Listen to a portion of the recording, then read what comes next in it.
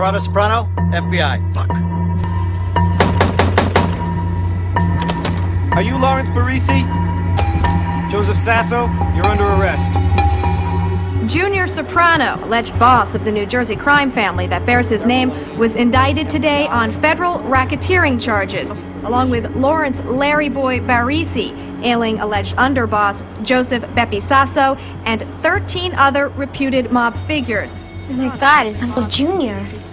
Jackie Look at the old guy, making him do the perp walk. A legitimate businessman. Dad, cut the crap. Go blow dry your hair. ABC senior justice correspondent Pierre Thomas on the mob mystery cracked wide open tonight. They represent the most crippling blow to mob activities in the New Jersey area since the early 1980s.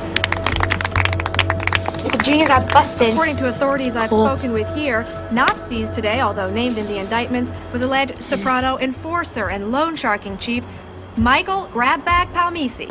Authorities believe Palmice may have fled the New Jersey area, acting on prior He knowledge. says it's a broad indictment that sounds better for the feds than it really is. They got stuff on me. They got stuff on all of us from the surveillance at the Green Grove. An ongoing investigation, the DA said. They always say that to make it sound good. But this is no fucking joke. What I gotta worry about now is the guys that got pinched today, if they flip.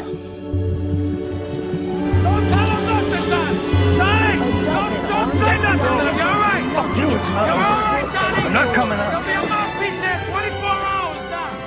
They even got the real Anthony Bagels Caveza and Vincenzo Vinny Carwash Fruggiero. A dozen armed FBI agents were knocking at Paul Manafort's bedroom door, waking up Trump's former campaign chairman with a warrant to search his Virginia home. the Bonanno, Colombo, Gambino, Genovese, and Lucchese families. But we've now also learned, our team here has now also learned that the FBI was seeking documents. He apparently owns uh, several of these. Uh, the FBI, we're told, company. Citigroup and Apollo Global Management told reporters that yes, they loaned Kushner Companies the money. with deep ties to Putin ally Viktor Vekselberg. If he were sitting in the room right now, I really wouldn't know what he looked like. Manafort ran Trump's campaign for months,